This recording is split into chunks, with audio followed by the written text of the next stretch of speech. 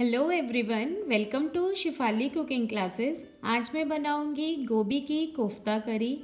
हम लौकी के कोफ्ते, मलाई कोफ्ते जनरली बनाते रहते हैं। तो आज मैं कुछ डिफरेंट बनाऊँगी और कॉलीफ्लावर और गोभी से कोफ्ता करी बनाऊँगी। तो इसके लिए यहाँ मैंने एक बोल में डेढ़ कप कद्दूकस किया हुआ गोभी है। मैंने गोभी को अच्छे से धो लिया और उसे कद्दूकस कर लिया है। साथ ही वन टेबल स्पून धनिया पत्ती ऐड करेंगे, एक टेबल स्पून दही ऐड करेंगे, दही इसमें बहुत अच्छा टेस्ट देता है। साथ ही एक टेबल स्पून अदरक, लहसुन और हरी मिर्च का पेस्ट ऐड करूँगी। आप चॉप किया हुआ भी डाल सकते हैं। साथ ही मसालों में मैं यहाँ रेड चिली पाउडर ऐड करूँगी। भुना हुआ जीरा और नमक ऐड करूँगी। तो ये मैंने यहाँ नमक ऐड किया। नमक आप अपने टेस्ट के अकॉर्डिंग डालिए और हाफ़ टी एस पी भुने हुए जीरे का पाउडर ऐड करूँगी। साथ ही हम इसमें बेसन ऐड करेंगे। तो कम से कम बेसन के साथ हमें कोफ्ते बनाने हैं।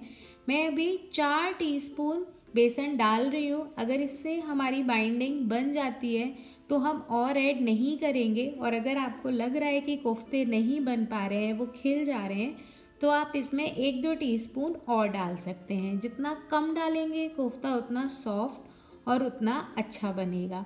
तो सभी चीज़ों को अच्छे से मसल मसल कर मिक्स कर लीजिए और इस तरह से एक कोफ्ता, एक बॉल बनाने की कोशिश कीजिए। आप इस तरह से कोफ्ता बनाकर देखिए, अगर ये बाइंड हो जा रहा है दैट मीन्स अभी हमें और बेसन डालने की ज़रूरत नहीं है। तो अब मैं इस प्लेट में सभी कोफ्तों को बनाकर रख लूँगी और फिर हम इन्हें डीप फ्राई करेंगे। तो दोनों हाथों की हेल्प से इन्हें अच्छे से दबाकर इनको कोफ्ते बना लीजिए ताकि कोफ्ते तेल में जाके फटेंगे नहीं। तो बहुत ध्यान से हमें कोफ्ते बनाने हैं, अच्छे से दबाकर, अच्छे से पूरा घुमाकर हम इनके कोफ्ते बनाएँगे। तो ये मैंने सारे कोफ्ते बना लिए हैं। इतनी रेसिपी के साथ मेरे लगभग आठ कोफ्ते बने हैं। तो सभी को मैं चेक कर लूँगी। आप देख सकते हैं, कोफ्ता एकदम अच्छे से तैयार हुई है। ये बॉल्स एकदम अच्छे से तैयार हैं। अब मैं इन्हें डीप फ्राई करूँगी। तो मैंने तेल ऑलरेडी गर्म होने रख दिया है। इस तेल में मैं और भी कुछ पहले तल चुकी हूँ। तो इसी तेल में हम कोफ्तों को तलेंगे। थोड़ा थोड़ा करके कोफ्ते डालिए। अगर आप एक साथ सारे कोफ्ते डाल देंगे तो वो आपस में चुपक जाएँगे और कोफ्तों के फटने का डर रहेगा। तो मैंने चार कोफ्ते डाले हैं और चारों कोफ्तों के बीच में थोड़ा सा स्पेस रखा है ताकि वो आपस में चुपकेंगे नहीं और मैं उनको अच्छे से पलट कर सेक लूँगी। अभी ये हल्के से सीख गए तो मैं इसमें बाकी के कोफ्ते ऐड करूँगी। और इसको हमें मीडियम फ्लेम पर ही तलना है। बहुत ज़्यादा हाई फ्लेम कर देंगे तो गोभी अंदर से कच्चा रह जाएगा। और अगर आप बहुत मीडियम, बहुत लो पे बनाएँगे तो कोफ्तों में तेल भर जाएगा। तो मीडियम फ्लेम पे हमें इसे फ्राई करना है और एक अच्छा गोल्डन ब्राउन कलर आने तक हमें तलना है इसे। तो बीच बीच में इसको चलाते रहिए, इसको उलटते पलटते रहिए और एक अच्छा गोल्डन ब्राउन कलर आने तक हम इन्हें तलेंगे। तो आप देख सकते हैं, एक अच्छा कलर आना इसमें स्टार्ट हो गया है और अभी हमारे कोफ्ते लगभग तैयार हो गए हैं। इनमें बहुत अच्छा कलर आ गया है और ये अच्छे से सीख गए हैं। अब मैं इसे प्लेट पर निकाल लूँगी। आप किचन टॉवल पे भी निकाल सकते हैं ताकि कोई भी एक्सेस ऑयल होगा वो निकल जाएगा। अब हम इसकी करी बनाएँगे। तो करी बनाने के लिए मैंने एक पैन लिया है, उसमें वन टेबल स्पून ऑयल डाला है। साथ ही इसमें हाफ़ टी स्पून जीरा डालूँगी और जीरे को हम चटकने देंगे। साथ ही इसमें खड़े मसाले डालेंगे। तो मैंने यहाँ तेज पत्ता, बड़ी इलायची, छोटी इलायची, दालचीनी और लौंग लिया है। काली मिर्च का मैं पाउडर डालूँगी। तो आप साबुत काली मिर्च यहाँ डाल सकते हैं या बाद में काली मिर्च का पाउडर डाल सकते हैं। तो सभी मसाले हमने यहाँ, खड़े मसाले, आपके पास और भी कोई खड़े मसाले हैं तो आप डाल सकते हैं। सभी मसाले भुन गए, अब मैं इसमें अदरक, लहसुन, हरी मिर्च डालूँगी। तो ये मैंने चॉप करके डाली है, आप इसका पेस्ट भी डाल सकते हैं। ये भी हमने अच्छे से भून लिया है। अब मैं इसमें दो प्याज का पेस्ट डालूँगी। तो मैंने प्याज को बहुत फाइन नहीं पेस्ट बनाया है, बहुत फाइन नहीं पीसा है। मैंने इसमें हल्के से दाने छोड़े, हल्का सा इसको मोटा पीसा है ताकि जो ग्रेवी है, वो अच्छी सी थिक भी दिखे और उसमें प्याज के थोड़े छोटे छोटे टुकड़े भी आए। तो आप देख सकते हैं, प्याज हमारा भुन रहा है, इसमें हल्का हल्का तेल छूटना स्टार्ट हो गया है। मैंने ग्रेवी में बहुत ज़्यादा तेल नहीं डाला है। अगर मैं यहाँ बहुत ज़्यादा तेल डालूँगी तो मुझे बहुत ज़्यादा तेल छूटता हुआ दिखाई देगा। अब मैं इसमें हल्दी ऐड करूँगी। साथ ही इसमें नमक ऐड करूँगी तो नमक आपने कोफ्ते में भी डाला है तो ध्यान से डालिए। साथ ही लाल मिर्च ऐड करूँगी, और ये भुना हुआ जीरा पाउडर ऐड करूँगी। ये हमने अभी मसाले डाले। अब मैं इसमें एक टेबल स्पून दही डालूँगी, और सभी चीज़ों को अच्छे से मिक्स कर लूँगी। दही बहुत ज़्यादा नहीं डालना है। एक टेबल स्पून हमें यहाँ दही डालना है।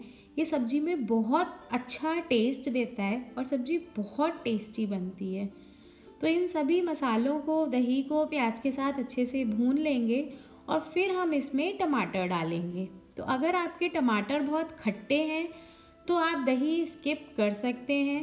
मैंने यहाँ दो टमाटर को ग्राइंड कर लिया है, उसका पेस्ट बना लिया है और वो ऐड किया है। अब हम प्याज टमाटर की ग्रेवी को अच्छे से भून लेंगे और इसमें कुछ मसाले डालेंगे। तो ये मैं इसमें एक टेबल स्पून धनिया पाउडर ऐड कर रही हूँ। इसको भी हम अच्छे से मिक्स कर लेंगे। साथ ही आधा teaspoon kitchen king powder add कर रही हूँ। ये बहुत अच्छा मसाला है। इससे कोई भी ग्रेवी में बहुत अच्छा टेस्ट आता है। तो ये आप स्किप मत कीजिए। वन फोर्थ टी स्पून काली मिर्च का पाउडर डाल रही हूँ। इसे भी हम अच्छे से मिक्स कर लेंगे। और ग्रेवी को तेल छोड़ने तक हम पकाएँगे। मैंने इस ग्रेवी में किसी भी तरह की मलाई या क्रीम का यूज़ नहीं किया है। आप अगर इसको बहुत हैवी करना चाहते हैं तो आप डाल सकते हैं। अभी जैसा आपने देखा, तेल छूट गया था। मैंने इसमें एक कप पानी ऐड कर दिया है। तो पानी आप अपने अकॉर्डिंग कम ज़्यादा कर सकते हैं। आपको जितनी गाढ़ी ग्रेवी चाहिए उस अकॉर्डिंग आप पानी को कम ज़्यादा कर लीजिए। जब ग्रेवी में हल्का सा बॉईल आ जाए तो इसमें कोफ्ते डाल दीजिए। तो मेरी ग्रेवी में हल्का सा बॉईल आया, मैंने इसमें सभी कोफ्तों को डाल दिया है। कोफ्तों को ग्रेवी के साथ मिक्स कर लूँगी। बहुत ज़्यादा हमें चलाने की ज़रूरत नहीं है, वरना कोफ्ते फट जाएँगे। और अब हम इसे ढककर पाँच से सात मिनट के लिए पकाएँगे।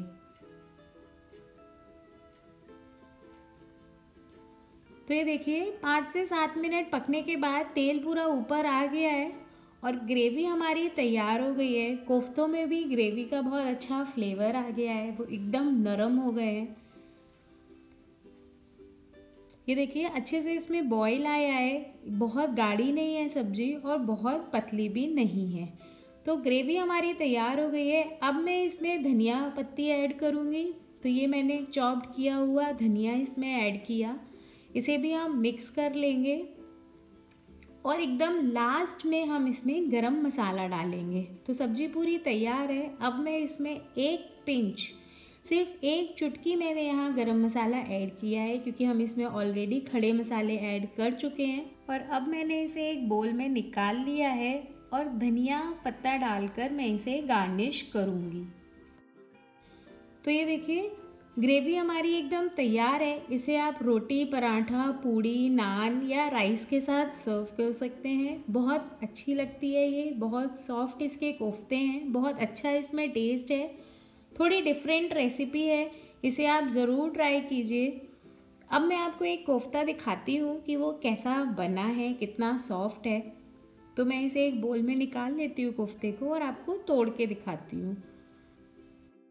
तो ये देखिए एकदम सॉफ्ट कोफ्ता है। मैंने बस हल्का सा स्पून को टच किया और ये टूट गया है।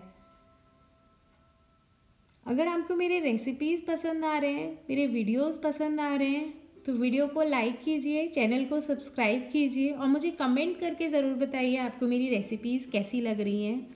See you in the next recipe bye